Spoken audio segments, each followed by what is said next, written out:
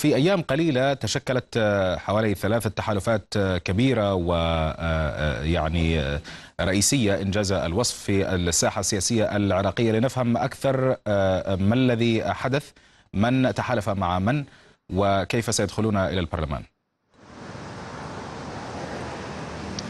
نعم بالفعل هناك تحركات سياسية لتشكيل الكتلة الأكبر خصوصا هذه التحركات تجري ما بين الكتل الشيعية السياسية. هناك طرف يمثله مقتدى صدر زعيم التيار الصدري يسعى إلى تشكيل الكتلة الأكبر بالتحالف مع قوة أخرى ويعني يريد أن يجعل القوى السياسية السنية هي بيضة القبان لأساس هذا التحالف طبعا مع وجود العديد من الكتل الأخرى. لكن في المقابل أيضا دولة القانون التي يترأسها نوري المالكي نائب رئيس الجمهورية يسعى أيضا لتشكيل كتلة أكبر قد تكون بعيدة عن التشكيل الذي يريده مقتدى الصدر على اعتبار أن الطرفان مختلفان فيما بينهما في مسألة تشكيل الكتل وأيضا في الرؤى السياسية.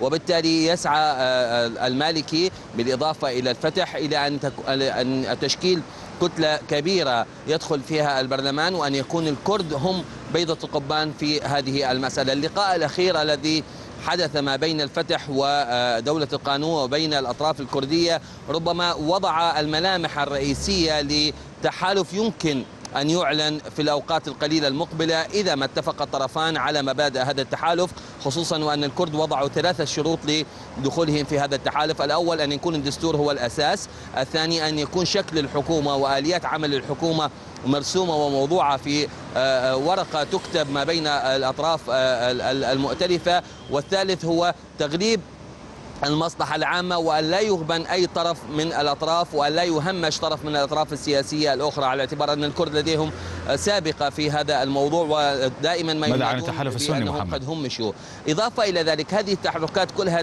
كلها تأتي في وقت يبدو أن عملية الفرز والعد اليدوي في العراق قد تأخذ وقت أطول لا سيما وأن يعني توقف عملية العد والفرز في كركوك وخروج مظاهرات هناك في هذه المحافظة طيب عن أيضا ماذا عن التحالف السني محمد؟ وهل هو ما نتج عن اجتماعهم في تركيا محمد؟ يعني من من المؤمل أن تكتمل عملية نقل الصناديق لمحافظات الستة الجنوبية إلى بغداد كي تبدأ عملية العد والفرز في بغداد يوم غد.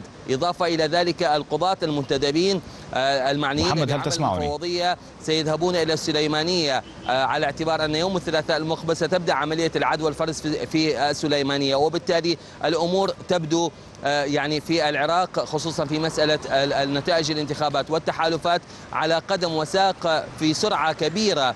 من تحركات الكتل السياسية وتحركات المفوضية لكن في كل الأحوال هناك من يشكك في عمل المفوضية حتى القضاة المنتدبين الذين اختارتهم واضح المحكمة محمد. الاتحادية هناك من شكك بعملهم يبدو أن هناك مشكلة في وصول. الصوت نعم. لمراسلنا محمد فاضل أنا أشكرك جزيلا على هذه المعلومات محمد فاضل مراسل الغد كنت معنا على الهواء مباشرة من بغداد